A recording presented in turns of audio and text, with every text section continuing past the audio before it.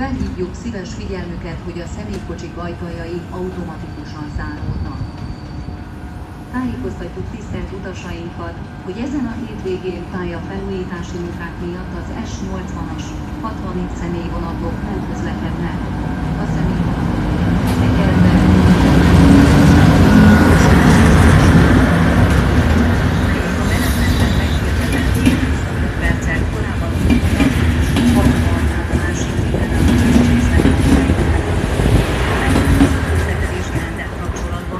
informasi bukan Nelson.